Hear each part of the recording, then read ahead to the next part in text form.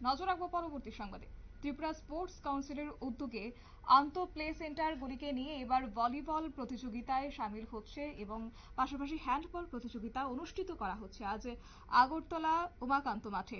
এবং এদিন এই প্রতিযোগিতার উদ্বোধন পৌর নিগমের নর্থ জোনালের চেয়ারম্যান গৌতম চন্দ্র সহ আন্ত প্লে সেন্টার প্রতিযোগিতার কনভেনার বিমান দেব সহ অন্যান্যরা আজ উপস্থিত ছিলেন। কি রয়েছে বিস্তারিত? শুনুন। বিস্তারিতভাবে বলেছেন। রাজ্যের মাননীয় মুখ্যমন্ত্রীর নেতৃত্বে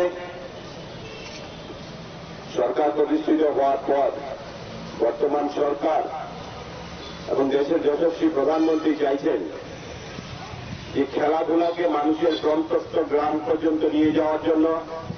তার জন্য আপনারা দেখেছেন খেলো ইন্ডিয়া থেকে শুরু করে বিভিন্ন প্রকল্পের মাধ্যমে খেলাধুলাকে আরও জনপ্রিয় করার জন্য বিভিন্ন উদ্যোগ গ্রহণ করেছেন ঠিক তদুরূপ আগরতলা স্পোর্টস কাউন্সিলের উদ্যোগে বহু বছর পর এই নিজেদের মধ্যে প্রতিযোগিতামূলক খেলার মাধ্যমে ভালো খেলোয়াড় তুলে আনার জন্য যে প্রচেষ্টা, তাকে সাধুবাদ জানাই।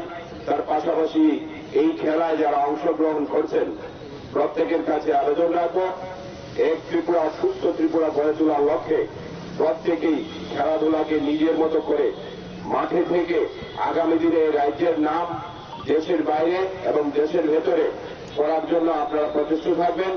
তার পাশাপাশি খেলাধুলা হচ্ছে আমাদের এরকম একটা জিনিস, যার মাধ্যমে নিজের শরীর, মন সবকিছুকে সুস্থ রাখা যায়। এখানে অনেক আমার সিনিয়র দাদারা আছেন, যারা দীর্ঘদিন এ রাজ্যের প্লেয়ার ছিলেন, বর্তমানে স্পোর্টস কাউন্সিল এবং বিভিন্ন দায়িত্বে আছেন।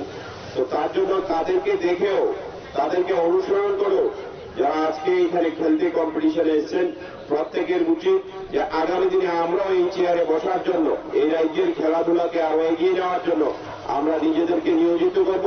তার পাশাপাশি আমাদের শিক্ষাও থাকবে এবং শিক্ষা, স্বাস্থ্য, খেলাধুলা তিনটে যখন একসঙ্গে থাকে। তখন একটা মানুষ, সুস্থ মানুষ থাকে। আর সুস্থ মানুষ নিয়ে এই রাজ্যে একটা সুস্থ ত্রিপুরা গড়ার কাজে আপনারা অংশগ্রহণ করতে পারবেন। এবং তার পাশাপাশি রাজ্যের মাননীয় মুখ্যমন্ত্রীর নেতৃত্বে এক ত্রিপুরা শ্রেষ্ঠ ত্রিপুরা গড়ার যে কাজ, যে কর্মকাণ্ড চলছে, তাতেও আপনাদের অংশগ্রহণ থাকবে।